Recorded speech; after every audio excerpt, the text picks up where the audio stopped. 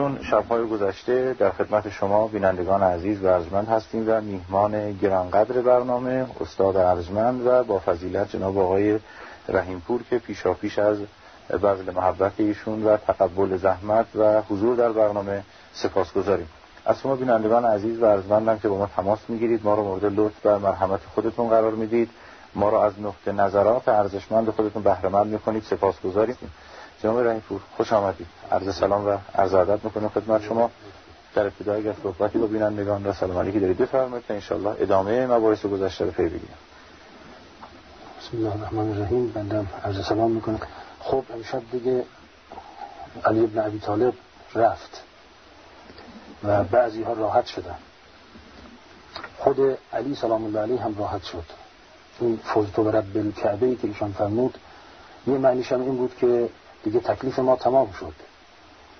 و بارها ایشون قبلا گفته بود که از دست مردم خسته شدن. و دیگه رفتن به جوار خدا. می‌دونیم ایشون همین امشب مخفیانه دفن میشن و تا سالهای سال کسی از محل دفن مسجد شریف ایشون هم حتی مطلع نبود جز خصیصین از اصحاب امیر المؤمنین و شیعیان و اولادشون. بعد از این و بعد از علی طرفداران ایشون دو دسته شدن. یک دی بریدند از سر ترس یا طمع کم کم تجدید نظر کردند دیر یا زود دچار استحاله شدن. و یه عده کسانی بودن که عقل استواری داشتن و به ایمان خودشون مطمئن بودن هر بادی که به بادبانشون میوزید تغییر مسیر نمی‌دادند. از ترس مردم به خدا پشت نمی‌کردند. و بعد از علی به راه علی استوار موندند و اینا کسانی بودند که تربیت شده مکتب علی ابن عبی طالب بودند از تصمیم گرفتن نمی ترسیدند در کشاکش سوداهای اقتصادی و سیاسی چرب و شیرین قدرت دنیا و ثروت زیر زبانشون مزه نمی کرد و دست از راه علی بر نداشتن. اینها آدمایی نبودند که ده سال بیست سال بعد از علی همون حرفایی رو بزنن که دشمنان علی قبلا می‌زدند. و کسانی نبودند که بعد از ده بیست سال از علی گذشته شروع کنند علیه گذشته خودشون تبلیغات بکنن.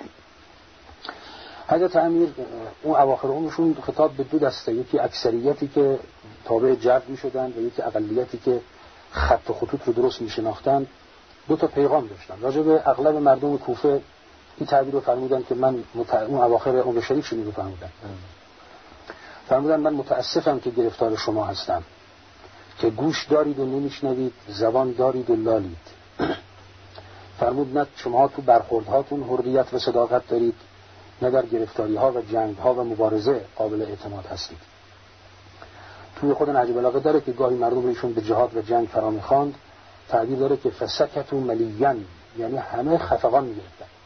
سکوت. هیچ جواب نمی‌دادن. میاد یا نمیاد و نمی جوری که حضرت امیر یه بار به مردم یکی از سخنانشون این جمله رو دارن فرمودن که بالاخره تو این جنگ ها من یا ظالمم یا مظلوم. در هر دو صورت شما باید تو این جبهه حاضر باشید. یا له من یا علیه من بود بجنگید. بی تفاوت چرا نشستید؟ هر شود و خب بعد از که یکی از آخرین وسایل ایشون به امام حسن این بود که چون ایشون داشتن سپاهی رو آماده می‌کردن برای جنگ با معاویه که کار اونا رو یکسره کنن. و یه سپاه صد هزار نفری داشت آماده می‌شد. قبل از اینکه کار شروع بشه خب ایشون ترور شدن و به شهادت رسیدن. ولی به امام حسن سلام الله علیه وصیت کردن که حتما این سپاه رو سازماندهی کنید و برید کار معاویه رو یکسره کنید و الا او کار شما رو یکسره خواهد کرد. یعنی سرنوشت رسیده به نقطه تعیین و نهایی. که البته مردم با امام حسن بیعت کردن بعد از حضرت امیر و حکومت امام حسن بیش از شش ماه نپایید بعد از شش ماه حکومت سقوط کرد.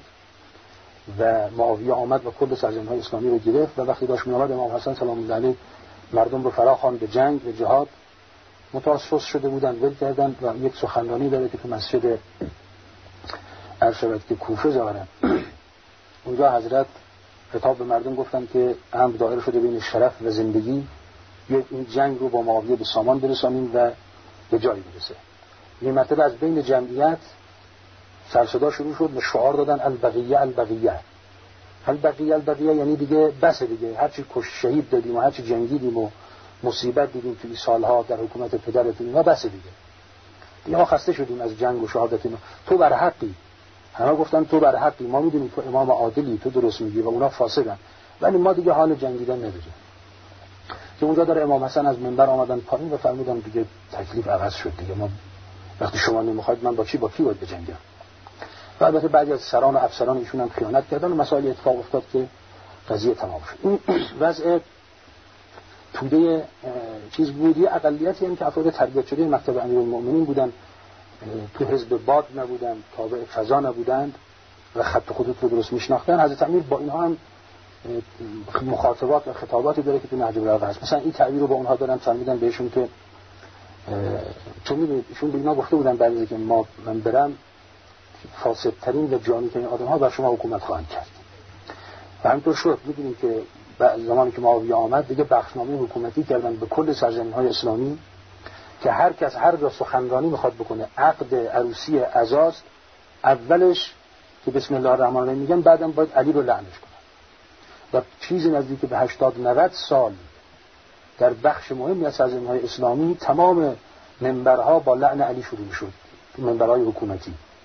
یک همچی جفسازی سریع و شدید علیه علی و آل علی و اهل بیت پیغمبر ایجاد شد. حضرت امیر به اصحاب خاص گفته بودن که بعضی که ما رو می‌زنند و این اتفاقات میفته این فضا پیش میاد. ولی این تعبیر رو دارن. فرمودن لا تس... لا تستوحشوا فی طریق الهدا لقلت اهله. راه درست راه حق سخته و لذا جمعیتش هم کمه. ولی شما نکنید به تفسیر؟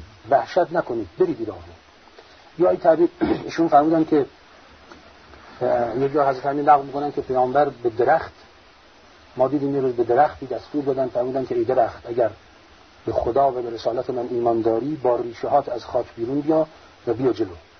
حضرت امیر میگن درخت به اذن الله از خاک آمد بیرون و آمد به سمت جلو به سمت پیامبر.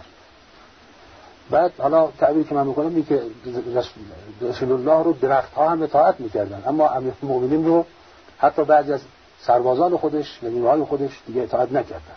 این وضعیتی بود خودشون هم میگن که زمستونا بهتون میگن بیاید بریم جبهه میگید سرده. تابستونا میگن میگید گرمه. خب شما که از گرما و سرما میترسید از مرگ یا شهادت نمیترسید. یک انچه فضایی. یا به او خواص فرموده بودن که بعد از من خط و خطوط خیلی تو هم خواهد رفت. اما بدانید از دلالت لا توافق الهدا مبادا سعی کنید حق و باطل رو با هم جمع بکنید. و تو صفبندی های عقیدتی اهل تساهل و تسانیه باشید. اینجوری نیست.